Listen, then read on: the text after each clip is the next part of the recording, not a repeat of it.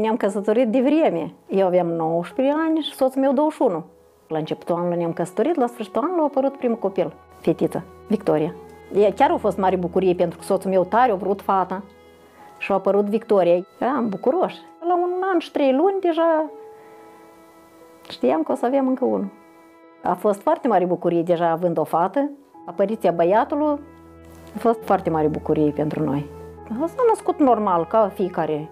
Ne-am externat din maternitate, am venit acasă și așa undeva la diferența de două săptămâni el a început să fie mai agitat, mai plângăreț. Când am chemat medicul, ne-a spus, poate, ca, ca noi născuții, burta sau urechiușele sau mai mult plângea decât dormea, până am ajuns în spital. Am avut perioade când am dormit 8 nopți. Eu am fost o mamă luptătoare, eu eram gata să dau orice, chiar să nu dorm, chiar orice. Nu mai să fie bine, nu mai să fie copilul meu bine. Ne-a dat Dumnezeu un tată și un soț extraordinar. Toți îl cunosc, toți îl știu. Nu există pentru el probleme nerezolvate. Pe timpul nostru, când eu am născut, erau farmacii în oraș, cea goală. Foarte puține medicamente, din spital ne-au dat lista de medicamente să le căutăm și le-au găsit. După 8 zile n-am văzut nicio schimbare, doar ne-au externat. Și am venit acasă, nu, nicio schimbare, copilul ghem și iar chem medicul pediatru și i-a spus, vrei, nu vrei, tu trebuie să mergi la spital și îi spun, nu mai vreau, unde am fost. Trimiteți-mă unde vreți, numai nu unde am fost. Și i-am o trimis la spitalul din Cărpinieni de boli infecțioase. Am intrat în spital la n-avea o lună și am ieșit la trei luni cu greutatea lui de la naștere. Îi mulțumesc și acum Domnului, nu mai, nu mai știu ce cu doamna doctor, dar într-adevăr, doctor de la Domnul și ea ne-a, ne tratat și tot timpul îmi spunea, dacă el adaugă măcar 10 grame, îți dau drumul acasă. Când a adăugat 10 grame, ne-a externat. Mai departe am stat la clinica din Hâncești, la evidență. Era pus distrofie, a devenit clinica din Hâncești a doua casă. Am trecut la trei luni specialiști, la care, când am ajuns la urelist, mi s-a spus că copilul nostru e surdomut de la naștere. Eu m-am uitat dumerit și am întrebat ce, asta ce înseamnă. El spune, el de la naștere este surdomut. Și eu întreb, dar operații se poate de făcut? Și el îmi spune, nu, doamna, el o să crească, o să-l duceți în grădiniță specială, apoi în școală specială. Pe moment nu știam, căutam ce se poate de făcut. Nu puteam accepta. Am venit cu soțul acasă, amândoi am plâns mult și am spus nu, eu nu-l dau. Nu-l dau nici în grădiniță specială, nici în școală specială și chiar am spus, moare el, mor și eu. Și am început să căutăm medici, tratament, una peste alta așa, veneau foarte repede una peste alta așa. Îmi părea că mai pot ține piept. O mamă nu are dreptul să-și piardă speranța. Chiar nu are dreptul. Ești mamă și cum să-ți pierzi speranța? Nici într-un caz. Nu prevedeam schimbări spre bine.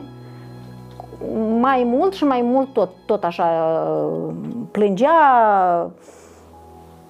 până când într-o zi mama mea mi-a spus mai încearcă la Vera Chirilovna pentru că femeia asta în viața ei a văzut mulți copii. Nu mai știam la cine să mai apelăm. O rămas ultima instanță Vera Chirilovna o doamnă care e pensionată. Și am mers la ea acasă și pe drum el cât o plâns toată ziua, dar în ziua respectivă era înainte de Paște și el toată ziua a fost o plâns, medicamente n-am putut să le dau, pe toate le-au vomitat care nu au putut să le înghită și mergând pe drum, o plâns, o plâns jumătate de drum, la jumătate de drum a dormit. Și când am ajuns la doamnă, el a adormit și doamna, doctorul a scăpat ceva jos. Și atunci el o, așa, o tresărit cu mânuțele. Și eu nu m-am întors la soțul meu și îi spun, Audi, am spus vorba, Audi. Început să crească normal, la șase luni. El uh, încercam să-l pun să stea, așezat, și la televizor era ceva muzică populară. Și după mișcările lui, eu am înțeles că el aude, el înțelege că asta e muzică. Și treptat am început să urmărim după el și am înțeles copilul nostru aude. Foarte puțin cunoșteam eu despre Dumnezeu, dar acum văd că asta doar Dumnezeu făcut așa că eu strec prin atâtea greutăți și să nu pierd speranța. Ne-am pocăit când el avea vârsta de șase ani. Uitându-mă în urmă, acum înțeleg că asta a fost planul Domnului și cu familia noastră și cu băiatul nostru. Atunci, pe moment, nu prea le înțelegeam, dar am făcut cunoștință cu uh, oameni care am vrut să trăiesc și eu ca ei. Să avem viața cu Domnul, am început să înțelege ce înseamnă relație personală cu Domnul și am văzut și copiii mei să fie... Noi am văzut că la credincioși copiii frecventează școala muzicală. Și i-am dat și pe a noștri. Întâi fata, școala muzicală la pian, apoi el la acordion. Are gene din cântăreță. Copiii care învață la școala muzicală au disciplinile lor. Și avea școrul. Țin minte că doamna de la cor mi-a spus, băiatul dumneavoastră are auz muzical 1 la 1000, dar el nu vine la cor. Și am vorbit cu el, că el a fost băiat ascultător, numai că mă rog. I-am lămurit că asta, el trebuie obligatoriu să frecventeze cor, atunci au părut și dragostea de a cânta cu vocea. Prima lui scenă pe care el a evaluat a fost scena bisericii. A vrut să-și încerce puterile, să vadă la ce nivel e. Și s-a dus la un concurs Steaua Chișinăului. Atunci când l-a văzut că a trecut și trebuia deja la concert, ne-a spus și ne-a invitat la concert. Când am văzut ce distincții au toți cei concurenții, la început mă gândeam, toți erau cu școli muzicale, cu conservatorii terminate, cu festivaluri, cu distincții, cu... El avea o școală muzicală la acordeon. Când am văzut ce distincții au toți cei concurenții, la început mă gândeam, unde s-a dus copilul ăsta meu hipoacuzic? În final a ieșit pe locul 3 cu Ionel Istrati și a câștigat un televizor. Pe fiecare concert care eu îl văd, eu sunt prima care sunată să mă întrebe cum, părerea mea. Pentru dâns contează foarte mult părerea noastră. Primul sunet care îl dă după orice concert, mama, tata, cum. I-am spus diagnoza atunci când eu mi-am închipuit că el înțelege. Nu-i venea crede și a început să-mi ceară cărticica medicală dar cărticica noastră medicală a dispărut. N-am mai găsit-o.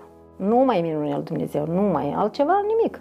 Azi pot spune că uitându-mă în urmă, eu înțeleg că asta a fost planul lui Dumnezeu și cu familia noastră și personal cu el. Acum, privind în urmă, eu cred că a îngăduit Domnul ca noi putem să-L iubim așa, ca pe un domn în viața noastră care a făcut minunea dintr-un copil hipoacuzic și cu diagnozele care vineau o avalanșă peste noi, una mai rea decât alta, a făcut această minune care l-a adus șapte scenele internaționale cu vocea care o are. Vreau să fac o încurajare pentru mamele care sunt în situații diferite. Când ții un copil bolnav, E foarte greu, dar vreau să le încurajez să nu pierdă speranța niciodată. De asta suntem mame, să nu pierdem speranța, să, să facem tot pentru copiii noștri. Dacă Domnul m-a ajutat pe mine atunci când eu eram necredincioasă, cu atât mai mult Domnul ajută pe mamele credincioase și pe toată lumea.